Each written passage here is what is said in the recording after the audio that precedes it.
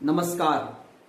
मित्रांनो आज भारताचे माजी राष्ट्रपती missile man doctor A P J Abdul Kalam यांची पुण्यतिथी.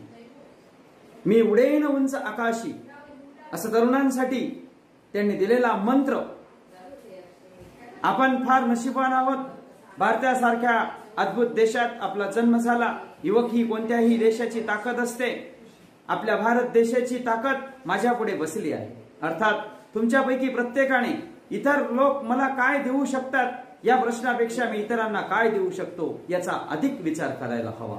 तुमच्यापैकी प्रत्येक जण देशासाठी वेळ प्रामाणिकपणा सातत्य कठोर मेहनत यापैकी एक तरी नक्कीच देऊ शकतो. देशातील प्रत्येक युवक मी समाजासाठी काय करू शकतो या प्रश्नाचा विचार करून त्याप्रमाणे अंमलबजावणी करेल. त्यावेळी आपल्या देशाचे भवितव्य नक्कीच उज्ज्वल असेल. तुमच्यापैकी प्रत्येक जण आयुष्यात यशस्वी होण्यासाठी नक्कीच धडपडत असतात. त्यासाठी एक मंत्र लक्षात ठेवा. ज्या क्षेत्रात तुम्ही काम करीत असाल त्या ठिकाणी कोणती तरी विशेष आणि इतरांपेक्षा वेगळे काम करा जेणेकरून त्या क्षेत्राचा विचार करताना लोकांना तुमची आठवण होईल. हे सुरुवातीला थोडं अवघड जाईल आणि तुमचे कार्यक्षेत्र अगदी मर्यादित असले परंतु इतरांपेक्षा काहीतरी वेगळे करण्याचा प्रयत्न करा जे तुम्हाला युनिक बनवेल. जरा विचार करा. या ठिकाणी सुरू असलेले विजेचे दिवे पाहिले की आपल्याला थॉमस एडिसनची आठवण होते. टेलिफोनची घंटा ऐकू आली की आपल्याला शास्त्रज्ञ ग्रॅहम बेलची आठवण होते. आकाशातून उडणारे विमान पाहिले की आपल्याला राईट बंधूंचे नाव आठवते. दोन नोबेल पारितोषिक मिळवणारी पहिली महिला शास्त्रज्ञ म्हटली की मादाम क्युरीचे नाव आठवते. अशी बरीच उदाहरणे देता येतील. आपल्यापैकी प्रत्येक जण असाच युनिक होऊ शकतो. लक्षात ठेवा जगातील प्रत्येक व्यक्ती ही वेगळी असते आणि एक व्यक्ती दुसऱ्या व्यक्तीसारखी नसते. मात्र आजूबाजूचे लोक आपल्याला इतरांसारखे साकारण्याचा प्रयत्न करीत असतात. आपण मात्र सातत्यानं प्रयत्न करीत इतरांपेक्षा काहीतरी वेगळे करून दाखवण्याचा प्रयत्न करायला पाहिजे. आपल्याला युनिक व्हायचे असेल तर चार तत्वांचा अंगीकार आपल्याला doctor A P J Abdul कलामांनी सांगितलेला आहे. पहिले तत्व स्वतःचे स्वतंत्र असे ध्येय ठरवा.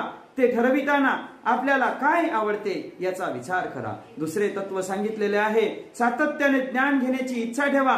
ज्ञान हीच जगातील सर्वात मोठी शक्ती आहे. बदलत्या तंत्रज्ञानानुसार युवकांनी देखील एकाच ठिकाणी न थांबता सातत्यानं नवीन ज्ञान घेण्याचा प्रयत्न करायला हवा. तिसरे तत्व कलाम साहेबांनी सांगितलेलं आहे कठोर परिश्रम.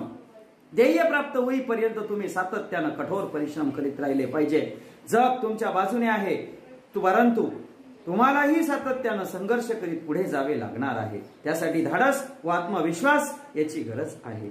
चौथं तत्व डॉक्टर साहेबांनी सांगितलेलं आहे ते म्हणजे सातत्य.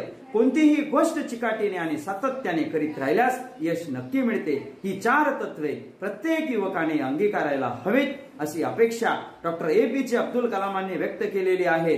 आज doctor A P J Abdul Kalam आपल्यात नसले तरी ग्रंथांच्या रूपाने त्यांच्या विचारांच्या रूपाने ते आपल्याला नेहमीच प्रेरणा देत राहतील. त्यांच्या विचारांना त्यांच्या पवित्र स्मृतींना विनम्र अभिवादन.